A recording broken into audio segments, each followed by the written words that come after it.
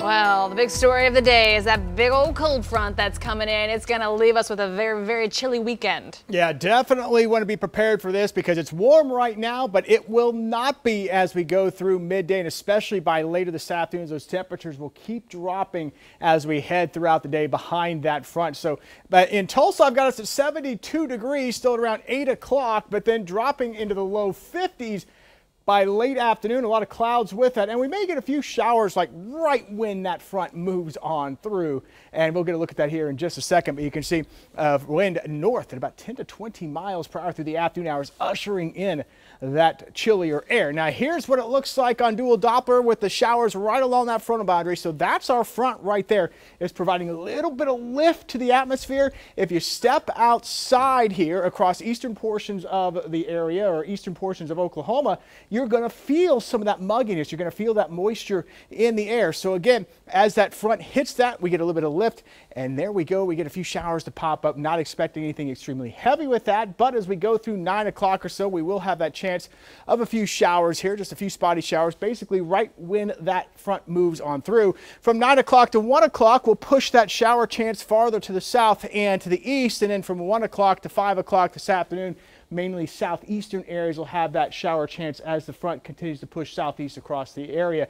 Don't expect a lot of rain with that, but right when that front moves through, you may have a few showers. Even out ahead of it, we've had some patchy drizzle out there this morning.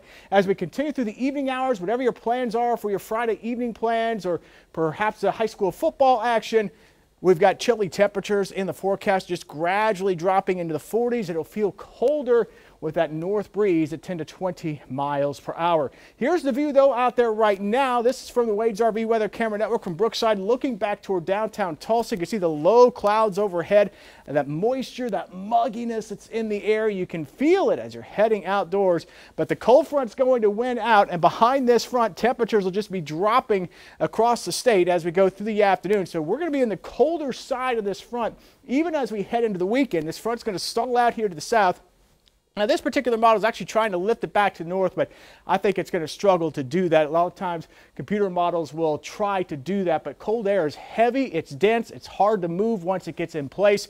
So we're going to stay in the colder air, no doubt through the upcoming weekend, but we'll get a lot of moisture to come up from the south and run over the top of that cold air, and that creates rain. It also can create thunderstorms. So even though we're going to be chilly, we're going to have chances of showers and storms both Saturday and Sunday until the system can finally move on out. And some of this rain could be heavy as well. For those of you here to the south and east, Stigler, McAlester, where we had some of the heaviest rain over the last uh, 24 to 48 hours, you could get another two to four inches on top of what we have seen and lighter amounts, half inch to an inch and a half farther to the north and to the west. So it's going to be a cold weekend with the rain chances. 41 on Saturday.